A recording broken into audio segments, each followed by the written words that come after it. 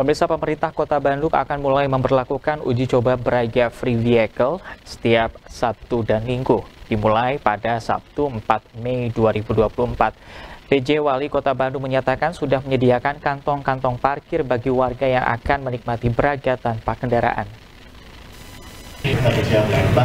Pemerintah Kota Bandung memastikan uji coba Braga Free Vehicle akan mulai diberlakukan pada Sabtu 4 Mei 2024.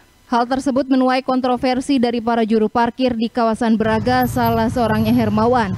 Saya mah cuma ngikutin, sebenarnya sih ya keberatan gitu kan. Kalau Sabtu Minggu kan sebenarnya kan parkir lagi rame. Tapi kan dengar-dengar ini kan programnya provinsi sama pemerintah kota. Jadi ya ikut, kita mah ikut mendukung aja lah yang di jalan mas selaku petugas parkir di jalan gitu. PJ Wali Kota Bandung Bambang Tirto Yuliono menyatakan uji coba tersebut dilakukan agar warga Bandung maupun wisatawan bisa menikmati Braga yang tidak macet. Pihaknya pun sudah menyiapkan kantong-kantong parkir di beberapa kantor pemerintahan dan instansi di dekat Jalan Braga maupun beberapa kawasan seperti Jalan Suniaraja hingga Viadek.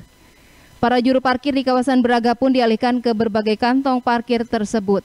Ia pun menegaskan area parkir tak akan berbayar kita menginginkan saya mungkin atas nama warga Kota Bandung mudah-mudahan semuanya saya sudah disupport oleh Pak Ketua DPRD bahwa Braga yang salah satu ikonnya Kota Bandung yang legendnya Kota Bandung ini bisa dinikmati oleh warga Kota Bandung bisa dinikmati oleh warga pendatang yang ada di Kota Bandung Sementara itu menurut PLT Kepala Dinas Perhubungan Kota Bandung Atsep Kuswara, pengalihan arus dilakukan saat Sabtu dan Minggu. Jika ada kemacetan akan dilakukan penguraian di beberapa titik.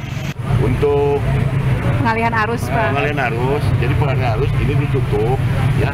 Jalan Braga itu ditutup Naripan lurus dari Naripan ke Braga pendek itu tidak boleh.